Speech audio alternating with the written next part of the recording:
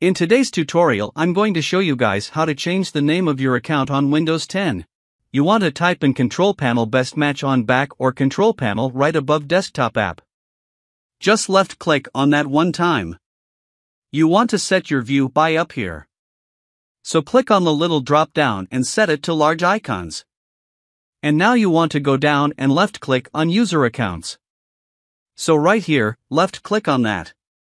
This will apply for early versions of Windows well by the way, so this will be for Windows 7, Windows 8. So we're going to go and left click on change the account name or change your account name. So let's click on that. Now type in whatever new accounting you want to change. Make sure it's one you're currently logged into. You're welcome to change other names as well. Let's click on change name and there you go. As simple as that. Our username has been changed.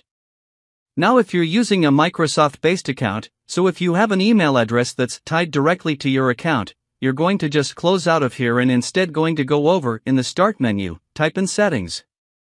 Best Match should come back with Settings. Right above Trusted Microsoft Store app. You just want to left click on that one time. And now you want to left click on the Accounts tile on this page you see here.